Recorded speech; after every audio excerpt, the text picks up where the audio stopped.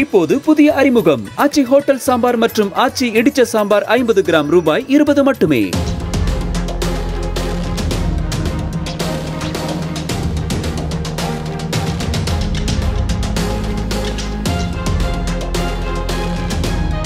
விழுப்புரம் மாவட்டம் வானூரை அடுத்த புளிச்சம்பள்ளம் கிராமத்தில் சேகர் என்பவருக்கு சொந்தமான விவசாய நிலத்தில் மின்சாரம் பாய்ந்து இரு பெண்கள் உயிரிழந்தனர். சவுக்கு பயிரிட்டுள்ள சேகர் தனது நிலத்தை சுற்றி இரும்பு கம்பி வேலி அமைத்துள்ளார். இந்த நிலையில் காற்று மழை காரணமாக சேகருடைய நிலத்தில் உள்ள கம்பி வேலி மீது மின் கம்பி அருந்து விழுந்துள்ளது.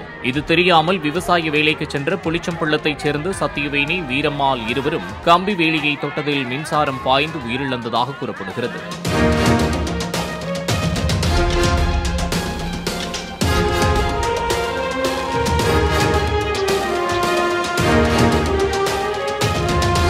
இப்போது புதிய அறிமுகம். ஆச்சி ஹோட்டல் சாம்பார் மற்றும் ஆச்சி இடிச்ச சாம்பார் ஐம்பது கிராம் ரூபாய் இருபது மட்டுமே.